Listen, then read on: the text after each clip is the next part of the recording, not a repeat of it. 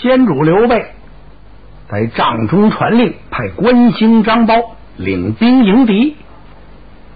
刚把人马派走，有人来禀报，说老将军黄忠带着十几个人投东吴去了。嗯，刘备一愣啊，不能啊！黄汉升绝不能够背我呀，他怎么能够背叛我呢？那是我的五虎大将啊！哦，转念一想，刘备明白了，是我在帐前说话不慎，老将军不爱听了。刘备不是说了一句：“现在我手下的一些老将都老迈无能了吗？”准是为了这句话，黄忠一挂火，到阵前杀敌去了。快传令关兴、张苞，对老将军。要严加保护。黄忠真的去杀敌去了，一点都没错啊！刘备也是顺口说了那么句话，老黄忠不爱听了，领着十几个人抄小路就下来了。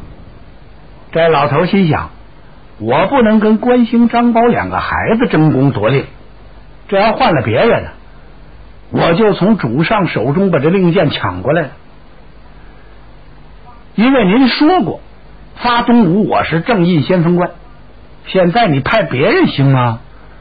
不过派的是关兴、张苞两个孩子为父报仇心切，我这个做伯父的，我呀得对得起这俩孩子，反正我也不跟你们争功，我呀去给你们开路，这不管是活的死的。我黄忠都对得起，这老头真不错呀，是个忠义双全的人物，所以他带着十几个人抄着小路赶着关兴、张苞前面去了。来到前营是求见吴班呢。吴班一听谁来了，老将军黄忠，哎呦，赶快出辕门迎接，那还了得？人家老将黄忠。是西蜀的五虎上将，同时呢，还是这次皇帝刘备御驾亲征的马前正印先锋官。吴班哪敢怠慢呢？来到辕门外一见面，深施一礼呀。恕末将甲胄在身，不能全礼。意思就是说我见着您应该给您磕头，您得原谅我。这甲胄在身，行大礼他不方便。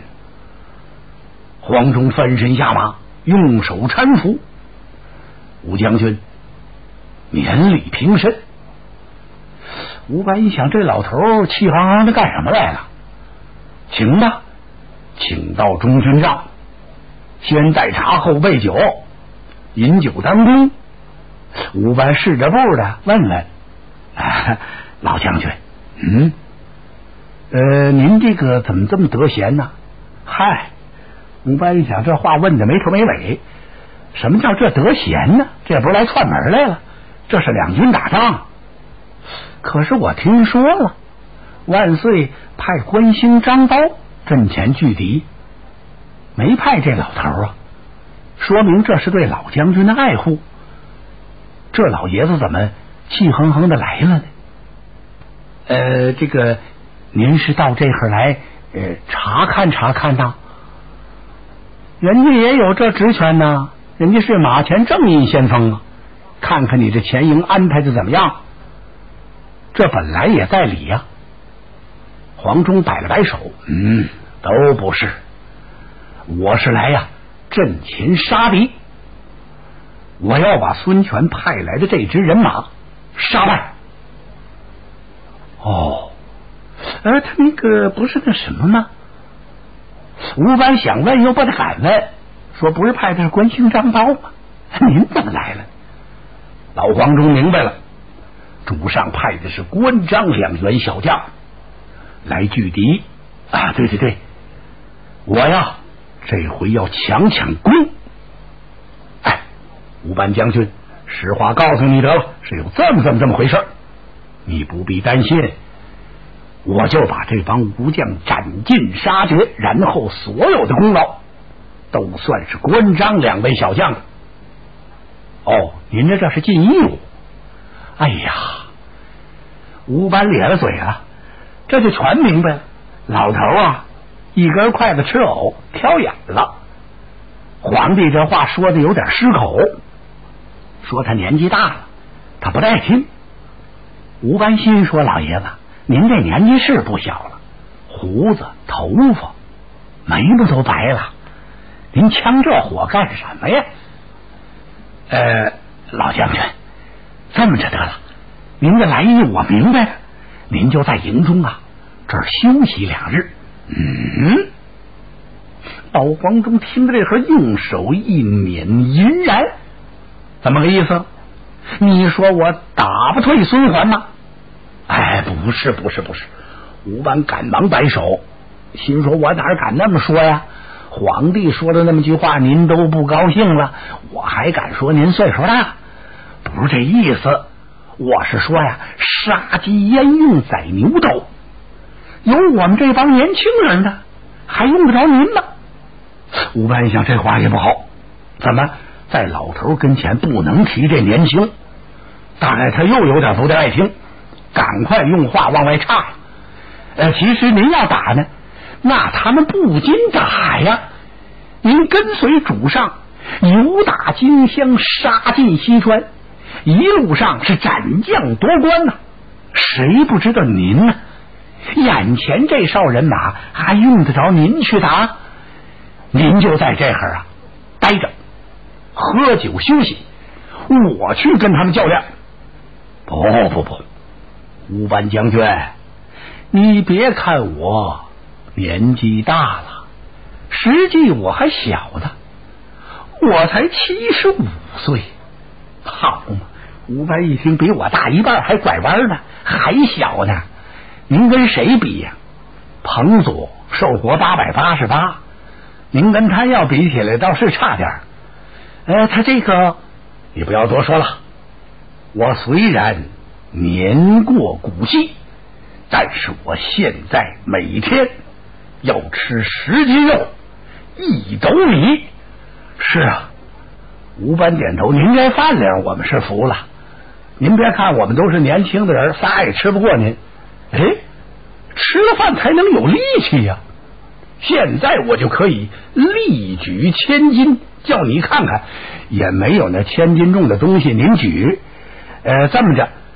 明天呢，我去跟他见一仗，您给我观阵，不必。明日一早我就要出征了。吴白一看，别劝了，再劝话多有失，麻烦了不定载句，惹得老头不痛快。一瞪眼，咱俩先较量较量，我完了，我这不闲着吗？这不是。吴白一想，那好，明天我给您点齐三千人马，用不着，我就带着这十几个军校。哎呀！吴白一咧嘴，老爷子他不行，怎么您得替咱西蜀想想？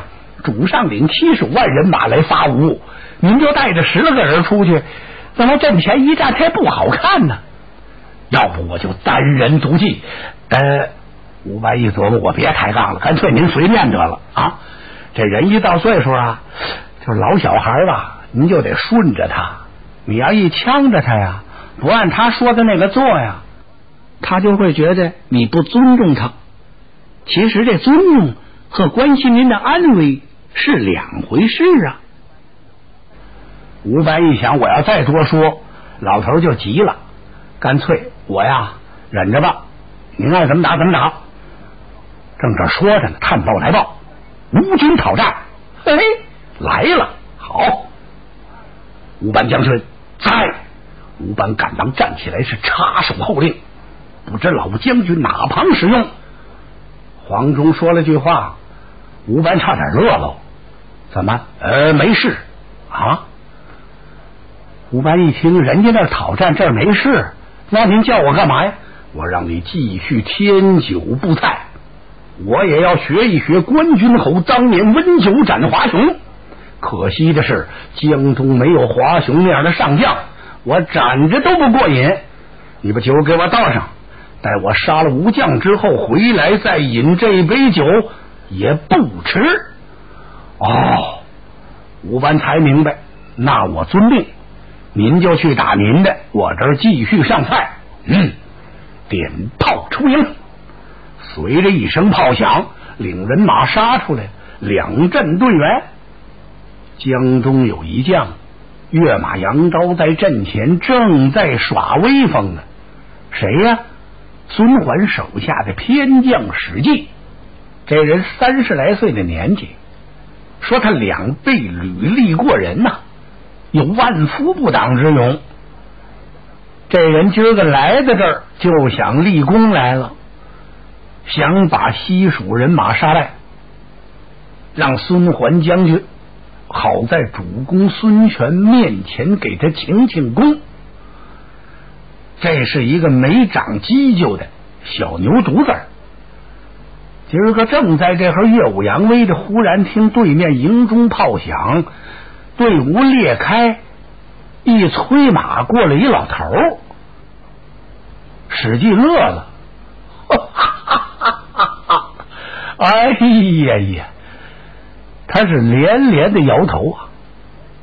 老将军黄忠带住战马问他：“哎，你为何摇头晃脑啊？”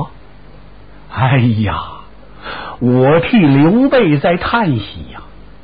刘备这次气势汹汹，领数十万人马来伐我江东，我不以为他手下有什么样的精兵勇将，感情都是一些老弱残兵。就是你呀，你还到阵前来打仗？哎，我说，黄忠一听，怎么了？你那拐棍哪儿去了？那刀你拿得动吗？赶快回去，换你们那个上将来两军阵前受首。嘿嘿，老黄忠一听这气，好啊！这个说我年纪大了，那个说我老迈无能了。我家主上刘备说我还可以，因为他是我的皇帝，我保的就是他。你算干什么的呀？娃娃呀，你敢说老夫年迈了？怎么着？问我的手杖哪去了？我要主手杖，还得四十年以后。你就撒马过来吧。史记觉得呀，自己呀跟这老头打都丢人。我来问你，你姓子名谁呀？嘿嘿。娃娃问我的名姓啊，你可在马上坐稳当喽，别回头我一报名，把孩子你吓着。我乃黄忠，黄汉生啊！史记吉林打了个冷战，这是西蜀五虎大将啊！哎呦，别看这老头上几岁年纪。那刀急马快，剑法如神，我可早就听说过呀。怎么我碰上他了？活该我史记露脸。今天我能在两军阵上擒住黄忠，嘿，我在江中啊，那可就算出了名了。好，好，好，我跟这老头打得格外加点小心。你就撒马过来吧。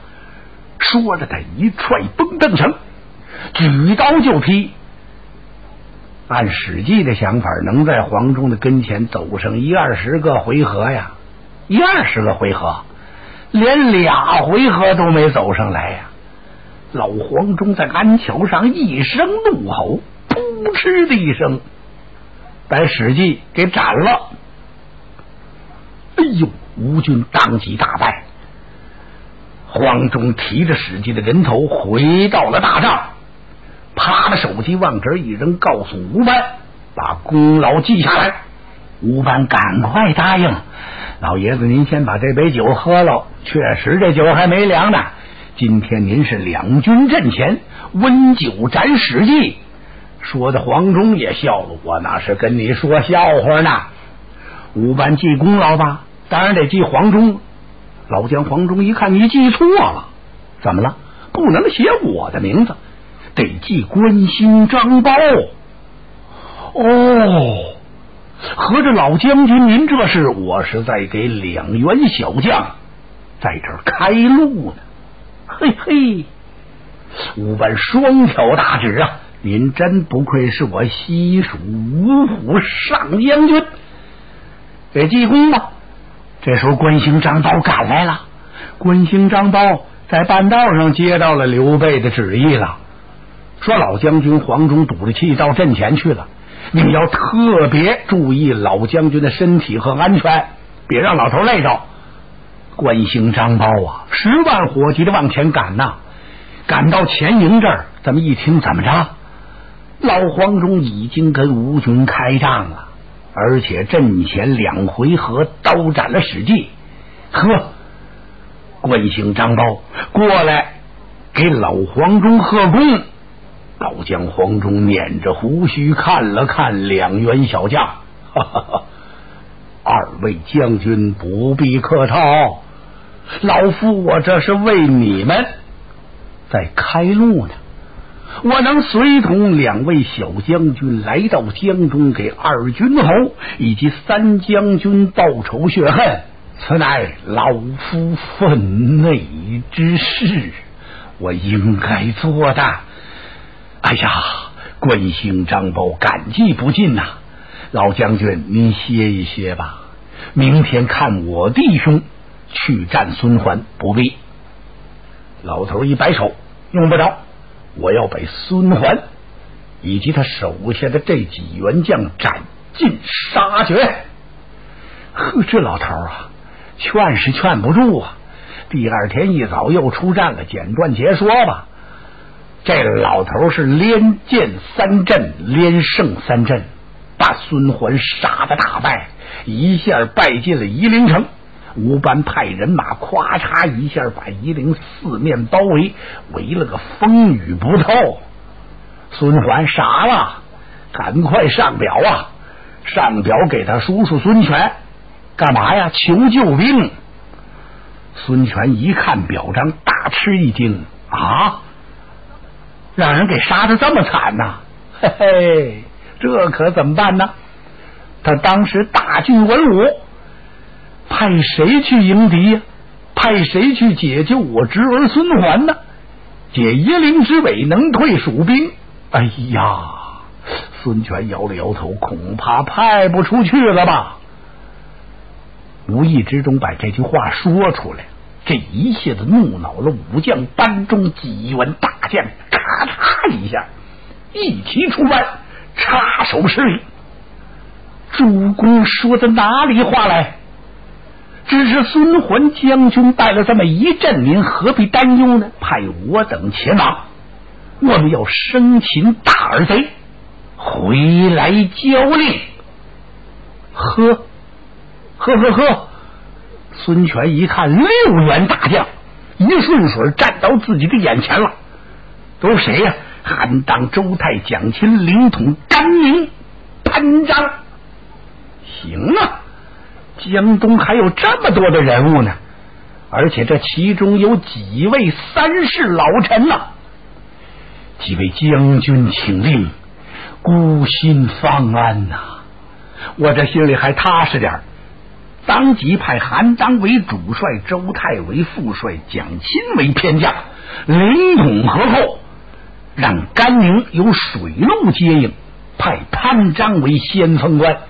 领兵十万，解夷陵之围，拒敌刘备。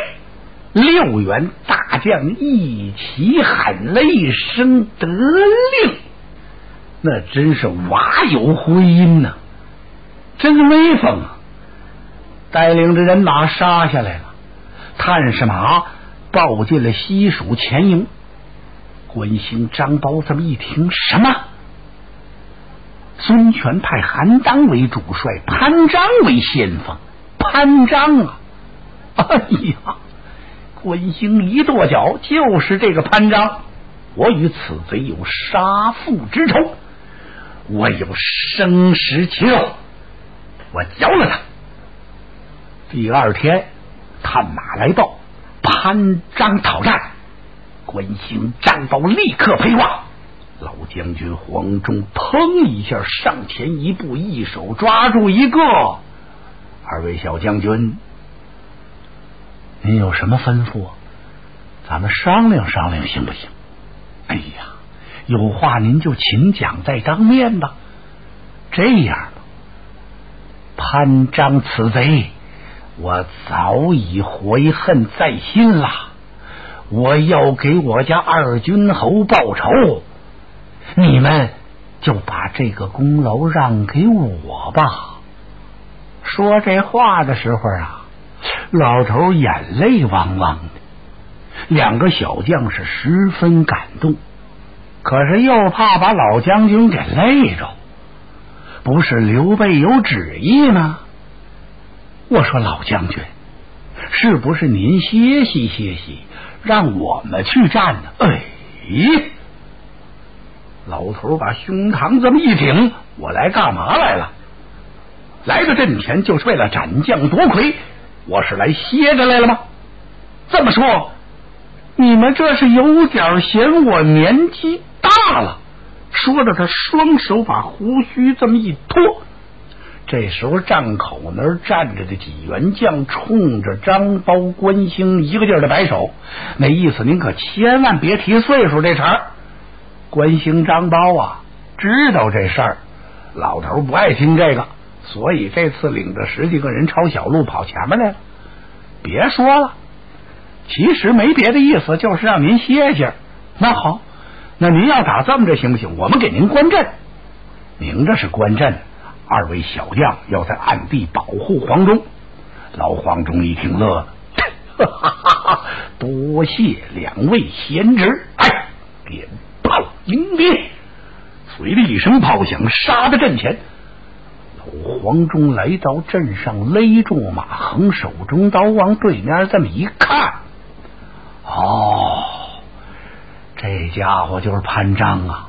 潘璋这时候左手摁着铁骨梁，右手倒提着青龙偃月刀。哎呦！老黄忠一见这刀，心里头轰的一下。见物思人，看见青龙刀，想起了关羽关云长。怎么，我们二军侯关羽的刀归了他了？你配使唤吗？你想到这，黄忠冲着潘璋一点手，娃娃马前圣手。潘璋也知道来者是黄忠黄汉升，我可得格外小心。举刀相迎，两个人大战三十几个回合，潘璋让黄忠给杀的是遍体生津，汗流浃背，眼看就支持不住了。他也真对不起这口青龙偃月刀啊，刀好啊，当然手巧没有家世妙，可但是得是巧手啊。就凭潘璋的力气，他抡不动这口青龙刀。拜吧，往下一拜，黄忠把大刀往起这么一举，举刀掩杀，追下来有二十多里路。老将军一马当先，后边筛了几次罗了，干什么呀？明金想把老将黄忠给调回来，别让他追了。可是黄忠就是勒不住马，越追越欢呐，越追越猛。杀的吴军尸横遍野，血流成河，正在往前追着。忽然间，听对面掏嗷一声炮响，感情这儿有一哨人马埋伏。其实人还真不多，才五百多人。为首的这员将是谁呢？马忠。这马忠名字很熟悉啊，就是在麦城。用绊马索捉住关羽的那马忠，他这个设埋伏还设出甜头来了呢。这次啊，他跟随着韩当作为一员偏将也来了，他领着这么一支人马就在这埋伏着。其实他也有一搭无一搭。忽然就看对面潘璋先锋官让人家给杀的，如丧家之犬一样往回跑。